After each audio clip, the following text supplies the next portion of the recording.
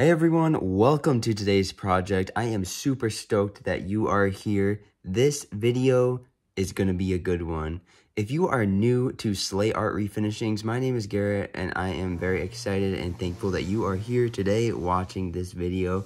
Hopefully at the end of the video, if you are not already subscribed, you consider subscribing. Every Sunday at 7 p.m. I upload a brand new project video so make sure you stay tuned until the end of the video for an amazing transformation and hit the subscribe button if you're not already subscribed.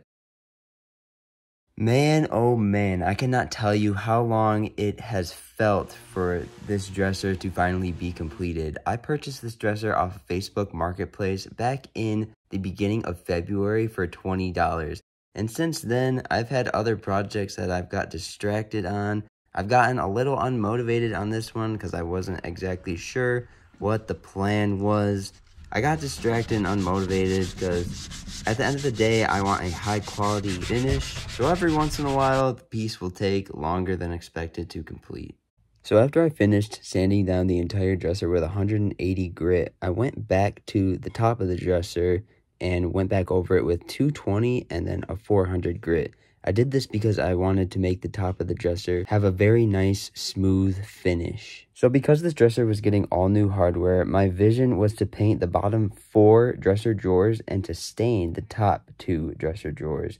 And because the new hardware didn't fit the pre-existing holes with the top two dresser drawers, I had to fill the old holes with wood filler and drill some new holes. If you have never used wood filler before, sometimes it is a little tricky to work with it and get it down in those holes. As you can see here in the video, I was struggling a little bit with it, so sometimes it takes a little extra time. After I filled the dresser drawer holes, it was time to stain and paint the remaining of the dresser. I took my general wood purpose cleaner that I got from Kroger for $8 and thoroughly cleaned the entire piece, leaving no contaminants, dirt, or dust behind. I then took my stain that I got from Home Depot that I've had from leftover projects in the past and I stained the top of the dresser and the top two dresser drawers.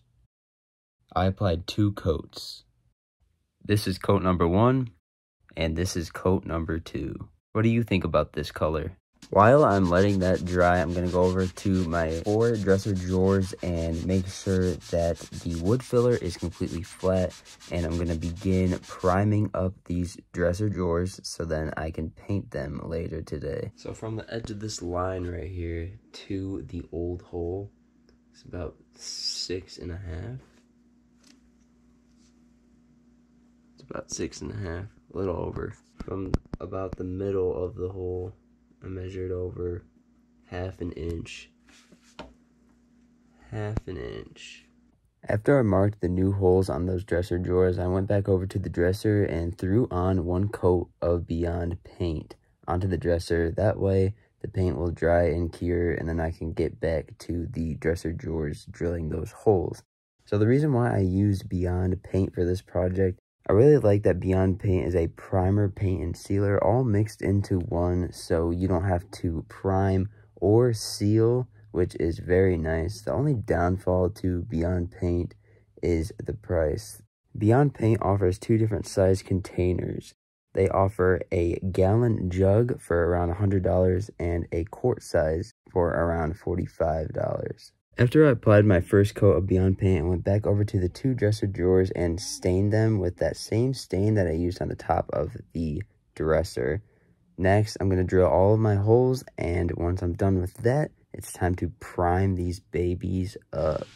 After the first coat of priming these four dresser drawers, it took two hours for the primer to dry. Then I put a second coat on, waited another two hours, and then I got to the painting right after. In the meantime, I started to apply my second coat of Beyond Paint onto the entire dresser, not including the top, of course. In case you've never used Beyond Paint before, they want you to take a paintbrush and dab paint in all of the hard to reach areas like corners and small details, cracks, crevices, and whatnot. And for the bigger areas, they recommend you to use a roller.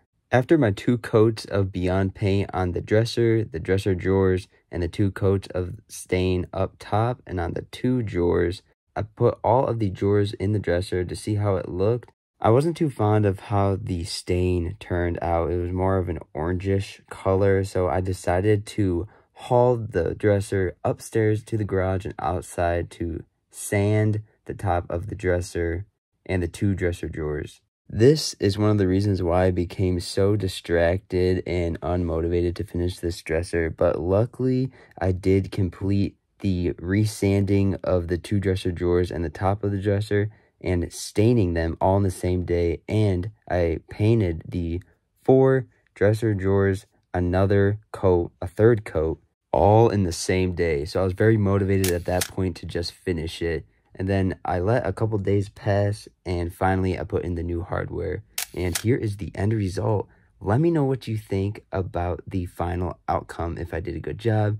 If you have any suggestions or comments, please don't hesitate to drop them down below. I'm very curious to hear what everyone thinks of the dresser. We're not quite done with the dresser just yet. This dresser is going to be a gift to one of my friends, so I'm gonna deliver the dresser in my Ford Ranger.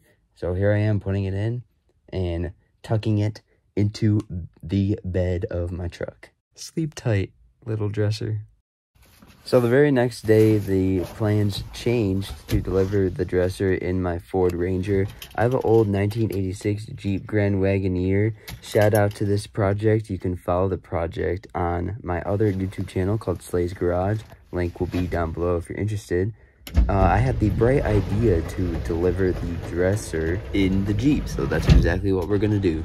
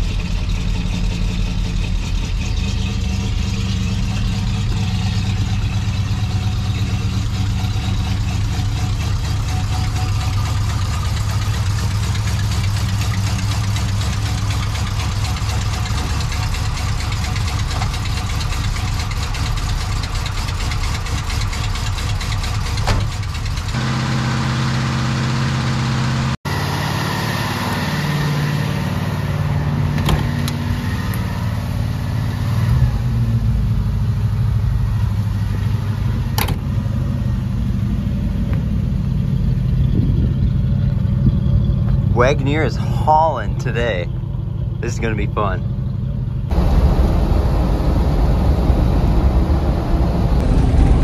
Woohoo!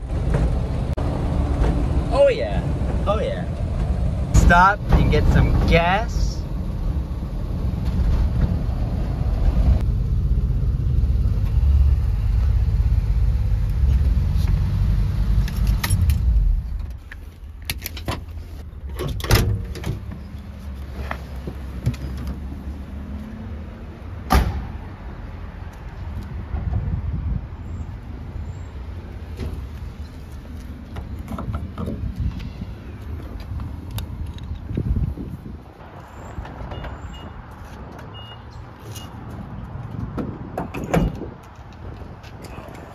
Just filled up with some gas.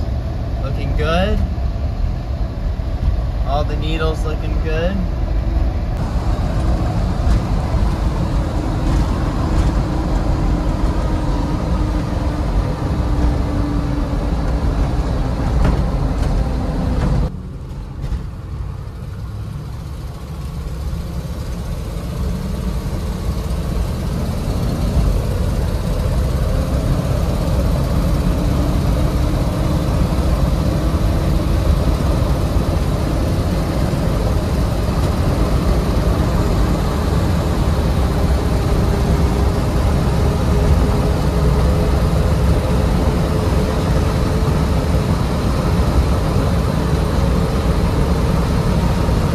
She gets up and goes, man. She's a cruiser.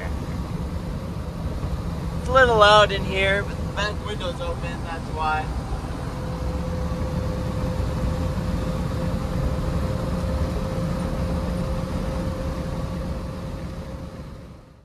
Hey, if you made it to the end of this video, thank you so, so much for taking time out of your day to watch this video. And make sure you subscribe if you're not already subscribed. I upload a new project every Sunday at 7 p.m. If you're a returning subscriber, thank you very much for coming back and watching another one of my videos. Thanks again, take care, and have a great day.